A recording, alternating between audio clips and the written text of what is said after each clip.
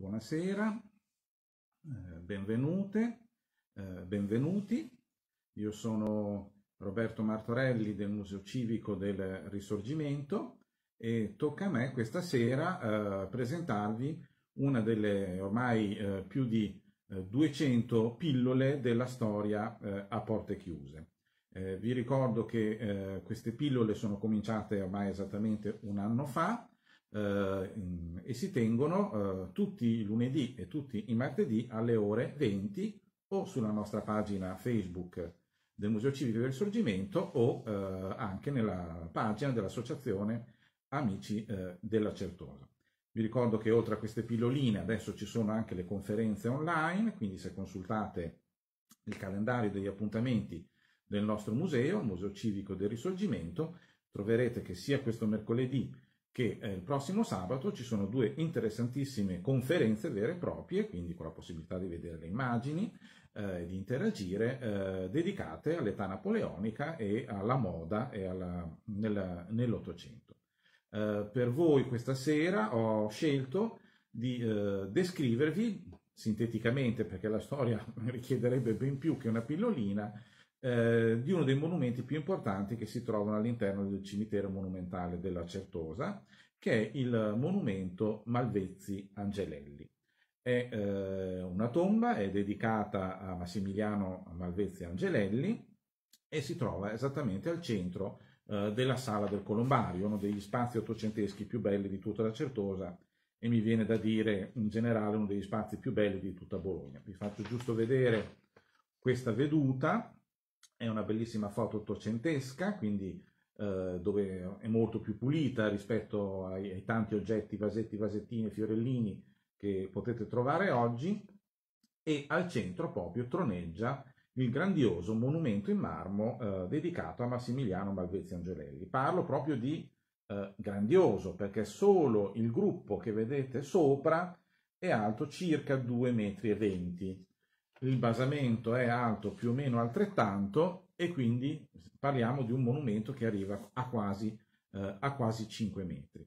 È un monumento eccezionale per tanti motivi, eh, spero che dopo spiegandovelo riuscirete a capirlo meglio, ma eh, sintetizzando molto, eh, per poi eh, approfondire, eh, al centro della sala del Colombare della Certosa c'è uno dei più importanti monumenti d'età neoclassica d'Italia e quasi quasi viene da dire anche eh, d'Europa. La storia del monumento è molto complicata, eh, innanzitutto eh, il basamento è di un momento storico, cioè eh, siamo degli anni 40-50 dell'Ottocento e invece il monumento sopra è precedente eh, e non è nato per la tomba di eh, Massimiliano Malvezzi Angelelli. Um, Cosa si incrocia in questo monumento? Si incrocia l'età napoleonica, eh, si incrocia tutta un po' l'epopea della restaurazione dopo la caduta eh, dell'impero di Napoleone eh, Bonaparte, eh, si intreccia l'arte, eh, lo sviluppo dell'arte, soprattutto della scultura, dal pieno neoclassicismo di inizio Ottocento al naturalismo della metà eh, del secolo. In più, la parte superiore è realizzata da forse il più grande scultore dopo Antonio Canova, e cioè da Lorenzo Bartolini, che è stato uno dei tanti allievi dello scultore di Possagno, di Canova, ma sicuramente è stato l'artista eh, che ha portato avanti eh, lo, lo, stile del maestro e l'ha portato però allo sviluppo successivo, cioè proprio quello che noi oggi definiamo il naturalismo. Partiamo per gradi perché la storia è abbastanza complessa e partiamo proprio dalla persona a cui è dedicato questo monumento che si trova in Certosa. Eh, Massimiliano Angelelli, Malvezzi Angelelli appartiene, il cognome già lo dice, il doppio cognome già lo fa capire, a una delle grandissime famiglie senatorie della, della città, quindi che hanno fatto la storia secolare di Bologna e nasce nel 1775 eh, morirà nel 1853 e tutta la sua vita sostanzialmente è dedicata allo studio e all'amore per le lettere e per la musica. Eh, per quanto il padre fosse eh, molto attivo dal punto di vista politico, sia in epoca napoleonica sia in età di eh, diciamo di primissimo inizio della, uh, cioè, scusate, alla fine eh, del periodo del Settecento e dell'età napoleonica, tanto invece eh, il buon Massimiliano Angelelli cercò di tenersene a, a distanza da tutti eh, la politica, anche se ebbe poi qualche piccolo ruolo all'interno del governo bolognese durante l'Ottocento. Sostanzialmente però lui avrà un'istruzione all'inizio anche in maniera privata, come avveniva spesso per eh, le grandi famiglie nobiliari bolognesi, poi seguirà il padre nelle sue avventure politiche a Roma e quindi lì comincia la sua passione per gli studi della letteratura antica. Quando torna poi a Bologna, eh, dopo breve verrà chiamato a sostituire la cattedra di, del cardinale Mezzofanti. Eh, Mezzofanti è, sta, è, considerato ancora oggi uno dei più grandi eh, cultori delle lingue, eh, lui riusciva a parlare e a riconoscere in almeno 60 lingue, però ovviamente era il cardinale che verrà poi chiamato al governo della città, quindi dovrà abbandonare la cattedra e verrà proprio sostituito da uh, Massimiliano Malvezzi Angelelli, che in breve diventerà e verrà riconosciuto come uno dei migliori traduttori in Europa dei testi eh, greci e soprattutto latini.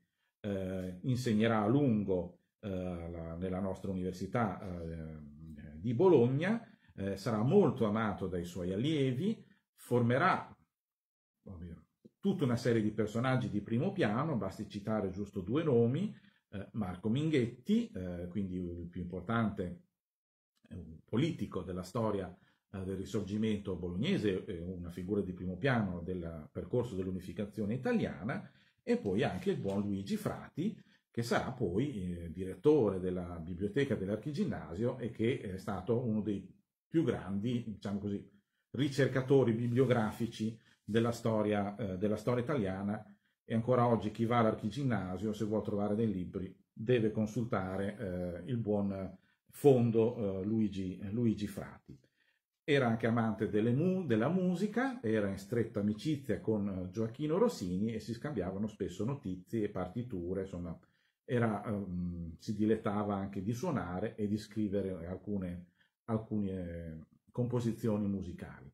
Quindi un personaggio estremamente variegato appartenente a una grandissima famiglia bolognese. E quindi ovviamente il monumento che si deve eh, costruire alla sua morte nel 1853 non può essere il classico monumentino, anzi viene scelto la posizione più importante che in quel momento c'è all'interno della Certosa di Bologna, cioè al centro della sala eh, del Colombario, che è appunto, come ho già accennato, uno dei più bei spazi coperti dell'Ottocento a Bologna, ma eh, direi in generale anche della, della città.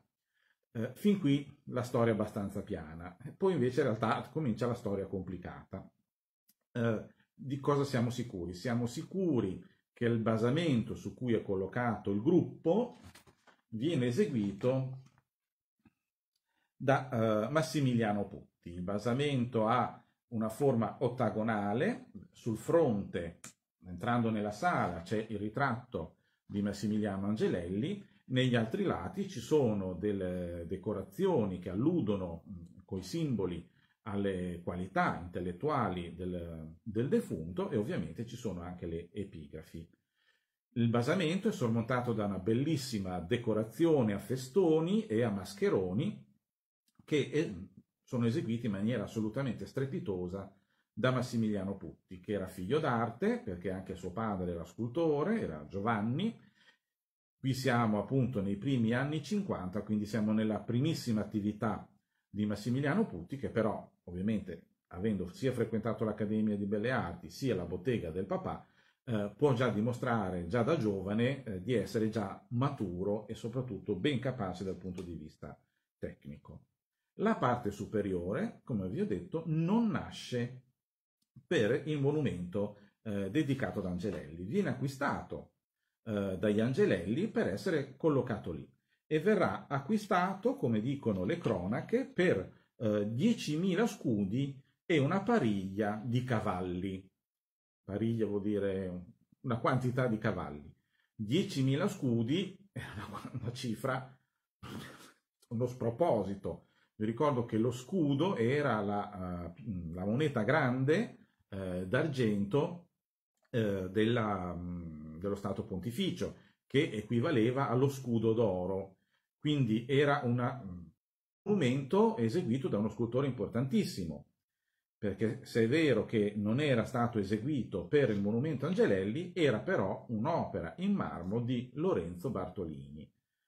E lo scultore era nativo di Prato, lavorerà sostanzialmente tra Prato e Firenze ed è stato veramente il grande protagonista della scultura europea dopo la morte di Antonio, eh, di Antonio Canova. Dopo Canova c'è Lorenzo Bartolini, c'è poco da fare. Eh, la nostra fortuna è che quasi tutti i gessi, i modelli, gli studi, i bozzetti che lui conserva, aveva conservato nello studio sono arrivati all'Accademia di Firenze. Quindi quando si potrà tornerete a farvi una passeggiata a Firenze, oltre a vedere in Accademia il Davide Michelangelo, ricordatevi che c'è una sezione gigantesca con tutti i gessi di Lorenzo Bartolini e tra i gessi c'è anche il modello per quello che è oggi il monumento eh, Malvezzi Angelelli. Cosa rappresenta oggi il monumento? È una figura femminile seduta dalle eh, fattezze classiche con al fianco un fanciullo. Questo è proprio il, il modello in gesso che si trova all'Accademia eh, di Firenze che è alto 2 metri 23. Oggi con le tutta la simbologia che è stata posta sul monumento Angelelli rappresenta Pallade o il genio della gloria. Quindi che cosa vuol dire? Pallade Atena, la uh, protettrice eh, della, degli intellettuali e il genio della gloria, quindi il genietto a simboleggiare il ricordo imperituro del, di Angelelli grazie alle sue capacità eh, intellettuali. In realtà eh, il monumento originario non era Pallade o il genio della gloria, ma era il ritratto di Elisa Bonaparte Baciocchi come la magnan- magnamin- Dio adesso mi viene, magnanimità. La prima idea, cioè, e quindi la costruzione del modello che fece Lorenzo Bartolini, è di inizio Ottocento. Facciamo un passo indietro. Eh, Lorenzo Bartolini diventerà famoso non solo perché era allievo di Canova, della scuola canoviana, ma soprattutto perché verrà reso famoso grazie proprio a Elisa Bonaparte. Eh, lei è una delle tante sorelle di Napoleone e eh, lo sapete, l'imperatore piazzerà su vari troni tutti i parenti, ad Elisa toccherà all'inizio il, il governo di Lucca e Piombino e poi eh, diventerà anche Granduchessa di Toscana. Un po' sul modello sia di Bonaparte, ma anche di tutti gli altri Napoleoni, come eh, Gioacchino Murat, eh, il, il, governo eh, sotto Elisa Bonaparte sarà pieno di riforme e tra queste riforme c'era anche cercare di incentivare l'industria attraverso le arti. Eh, verrà riconosciuto in Lorenzo Bartolini la figura che poteva eh, svolgere questo ruolo e quindi Lorenzo Bartolini verrà, eh, diventerà l'artista di corte di Elisa Bonaparte e anche colui che deve eh, fare, scolpire, ovviamente con la bottega, tutte le immagini ufficiali della Granduchessa da mettere negli uffici e da uh, donare uh, in giro per l'Europa nelle occasioni uh, ai parenti o anche come, per le, i motivi diplomatici. Quindi si arriva alla produzione seriale di tanti ritratti di Elisa e forse in quel momento nasce proprio la prima idea, il modello in gesso di due metri, per questo monumento che forse doveva finire in una piazza a Carrara per motivi che non conosciamo, il monumento verrà poi un po' abbandonato e tutta la storia di questo marmo eh, viene fuori poi con la morte di eh, Elisa Bonaparte. Eh, lei fuggirà ovviamente da, uh, dalla Toscana con la caduta di Napoleone nel 1815, morirà poco dopo e il marito Felice Baciocchi, che nel frattempo si era trasferito a Bologna, decide che per la propria moglie bisogna farne un monumento degno. Eh, Baciocchi sostanzialmente acquista l'uso di una delle cappelle della basilica eh, di San Petronio e decide che in questa cappella eh, bisogna fare il nuovo monumento, quello dedicato alla moglie, a Elisa Bonaparte, e nella parete di fronte eh, invece portare da Lucca il monumento gigantesco che era stato eseguito per i figli che erano morti eh, giovani, erano morti bambini. Eh, cosa succede? Succede ovviamente che eh, Felice Baciocchi si rivolge a Lorenzo Bartolini, l'artista prediletto, lo scultore prediletto eh, dalla moglie, il quale ovviamente anche per omaggio alla donna che l'aveva reso famoso in tutto il mondo, eh, si presterà volentieri all'esecuzione di quest'opera. I, prima, le prime idee erano un monumento completamente nuovo, eh, con più sculture, eh, ma eh, questa, questa, idea nuova non piacque a Felice Baciocchi e quindi venne ripescato il modello di qualche anno prima che doveva essere un monumento pubblico da mettere in piazza. È un, una statua di 2,20 metri che doveva trovare collocazione entro una nicchia e una grande struttura monumentale nella cappella in, in San Petronio. Immaginate eh, già l'esecuzione di un'opera, un grande gruppo in marmo di due metri non può richiedere pochi mesi di lavoro. In più Lorenzo Bartolini era assolutamente operato da commissioni provenienti veramente da tutto il pianeta e quindi le, l'opera si protrae ovviamente lungo gli anni. Poi purtroppo eh, non si poteva vedere dal blocco di marmo a distanza di tanti centimetri, quando si arriva all'altezza del volto di Elisa Bonaparte compare una vena grigia proprio sulla, eh, sulla guancia. Lì comincia tutta la diatriba, eh, i baciocchi niccano perché dice, vabbè, eh, qualche difetto eh, compare sempre in grandissimi blocchi di marmo, ma proprio una vena sul, sul volto sembra quasi uno sfregio. Bartolini si presterà, chi dirà non c'è problema, posso farne un'altra, basta che ovviamente mi acquistate il blocco di marmo. Eh, Baciocchi disse assolutamente no, eh, il blocco di marmo te lo compri tu perché è, è un omaggio che tu devi fare alla tua uh, musa sostanzialmente, ma ovviamente Bartolini avrà detto, cioè, un blocco di marmo gigantesco mh, mm, costava cifre veramente eh, ragguardevolissime. Questo, diciamo così, battibecco va avanti per un po' di anni, ma eh, termina poi con la morte di Felice Baciocchi. Morendo Felice Baciocchi, eh, perde il senso del monumento eseguito solo a Elisa Bonaparte. Eh, quindi il monumento alla fine viene rifiutato dai figli di Elisa e di Felice con dispiacere eh, sommo eh, della, del, di Lorenzo Bartolini e la famiglia se lo metterà in, eh, a palazzo per un po' in deposito.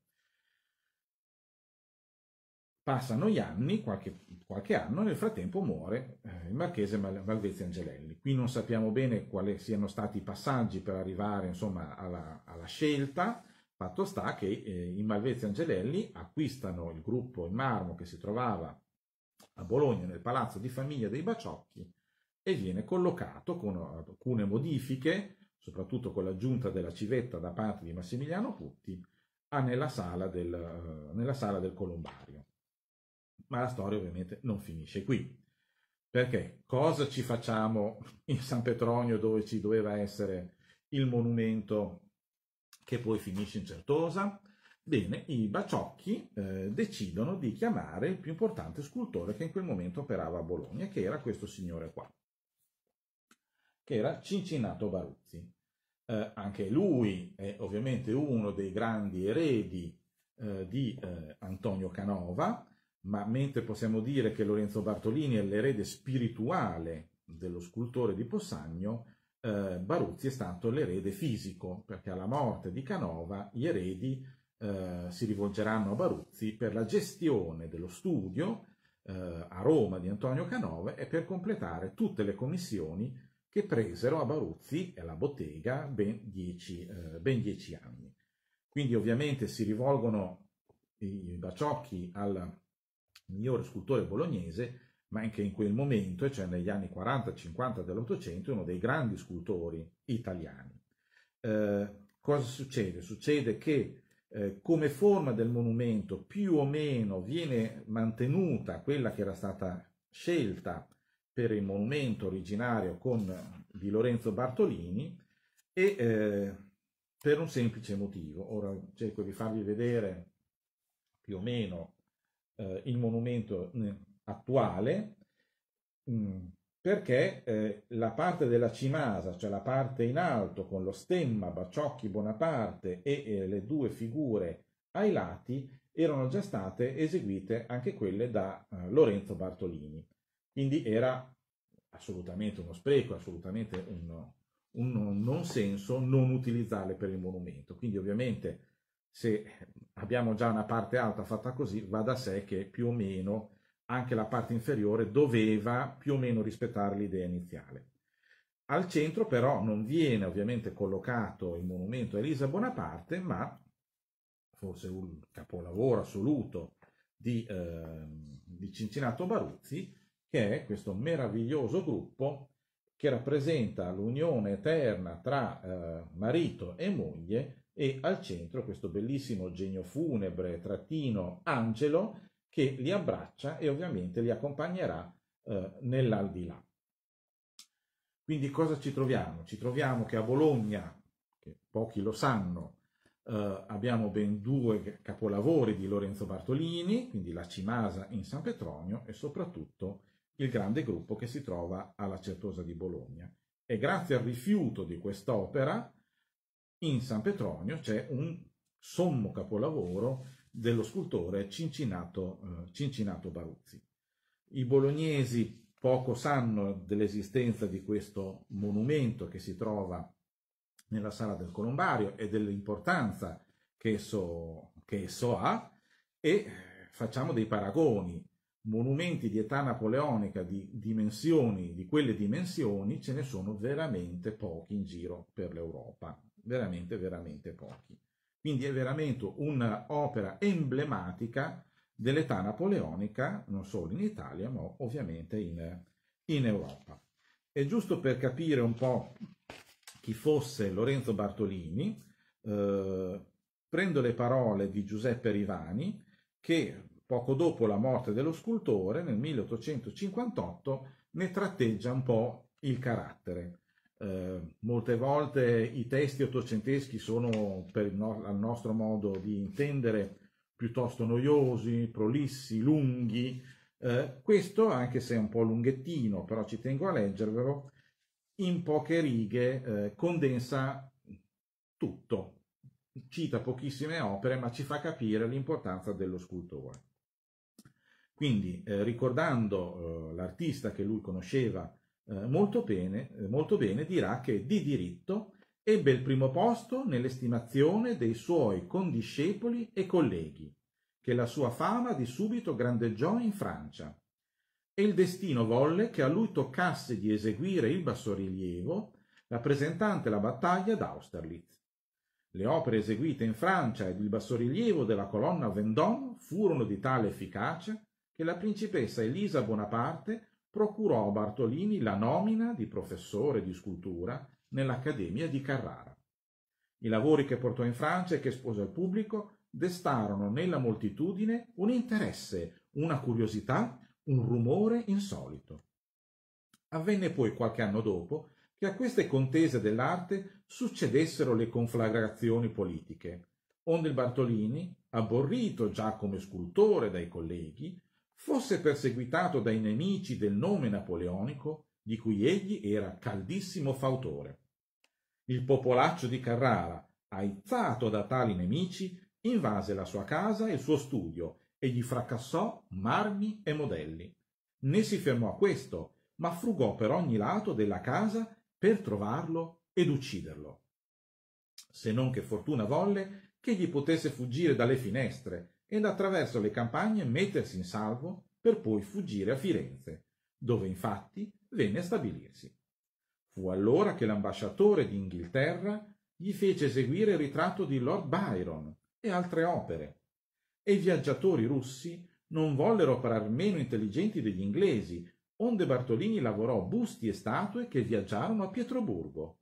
Le committenze, oltre a crescere di numero, crebbero anche di importanza e poté slanciarsi nel concepire grandiose composizioni e nel rendere in marmo gli affetti umani. Si pose a capo di una nuova scuola di scultura in Italia, di quelle dove il pensatore va di pari passo col riproduttore esatto della natura. Ed è soprattutto questo ultimo capoverso che ci sintetizza tutta la vita artistica di Lorenzo Bartolini. Un artista che, trasferendo lo studio a Firenze, eh, arriverà, accederà a tutto il turismo internazionale, soprattutto inglese e russo, che non mancarono di commissionargli le opere più diverse delle più grandi dimensioni. Per cui se fate una banalissima ricerca su qualsiasi motore di ricerca, scrivete Lorenzo Bartolini, trovate capolavori sparsi veramente per tutto il pianeta. E poi ci dice che fu a capo di una scuola che dove al pensiero si andava di pari passo con la riproduzione della natura. E lui eh, è l'artista che proprio porta avanti, abbiamo detto, la fiaccola di Antonio Canova, ma lentamente ci si allontana dal classicismo, quindi dalla, ripro- dalla riproporre la cultura greca e romana, arricchendola sempre più degli elementi naturali, della rappresentazione del corpo per come quello è. E non è un caso che lui verrà odiato dalla cultura accademica, come viene detto in questo testo, perché favorirà tutta una serie di scultori che saranno poi i, alcuni dei capostipiti del verismo borghese eh, del periodo dell'Unità d'Italia. Quindi eh, è famosissimo la, l'appoggio che lui diede allo scultore eh, Giovanni Dupré, che era stato accusato di eh, semplicemente fare dei calchi dal vero per eseguire le sue statue, perché eh, non erano idealizzate, e lui proprio lo difese a spada, a spada tratta e si mise ovviamente contro tutto il mondo accademico eh, dell'epoca. Spero che tutta questa serie di notizie eh, vi abbiano incuriosito e vi abbiano fatto capire anche l'importanza di questo monumento che si trova alla Certosa. Vi ricordo che facendo anche una semplicissima ricerca su un motore, di, mettendo monumento Malvezzi Angelelli, troverete la nostra pagina dedicata a quest'opera nel sito Storia eh, e Memoria di Bologna. Direi che la mia pillolina termina qui, vi ricordo che domani la parola eh, sarà al nostro caro amico eh, Pelagalli che come sempre eh, dedicherà la, il suo tempo a le interessantissime approfondimenti sulla storia delle strade e dei nomi del, eh, delle, dell'urbanistica bolognese tra l'età napoleonica e l'unità d'Italia. Grazie per l'attenzione, alla prossima e buona serata.